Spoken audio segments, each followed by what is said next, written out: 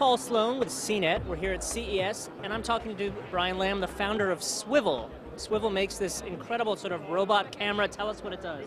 Well, it's a personal cameraman and a mobile accessory.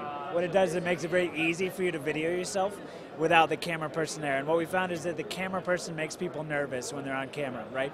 They start flubbing lines, or if they're swinging a golf club, they miss the ball. So this gives them a way to capture video without the normal emotions associated with it. And show me, I mean, what are the features? How does it work? Yeah, so it's got a panning functionality that's constantly moving. Basically, you can forget about it and it follows you around.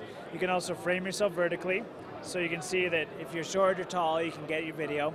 This brings uh, remote controls, so record, start, stop, still pictures as well as audio, so it brings a microphone. So totally cool. What's the use case? Who needs it? Biggest response we got was YouTubers on, uh, you know, doing v- daily vlogs, putting out content on a regular basis. But then we got a huge response from people in education, real estate, uh, people doing video chat on a regular basis, particularly if they're multitasking. If you're making dinner, you want a video chat, now you just throw this on and you walk around the kitchen, and now you can actually have a nice conversation in video chat. Uh, so there's a lot of really cool mainstream uses for it. When's it available and how much does it cost? We're available in the next couple months, and it's $159. You can reserve one on our site right now, and when we first ship, of course, we'll be starting to take credit cards at that point. Thanks so much. Yeah, thank you.